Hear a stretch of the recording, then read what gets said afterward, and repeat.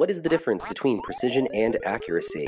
Precision, how close are a series of measurements to each other? So let's pretend you're playing golf, you shoot three golf balls, they're all really close to each other, and because they're so close to each other, you have really good precision.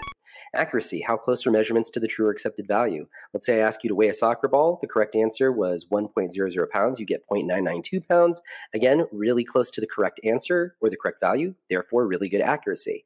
That means that if we are picturing these as dartboards, we have four possible situations. You have high accuracy, high precision, where you are getting three shots and you're hitting the bullseye every single time. So good precision, good accuracy.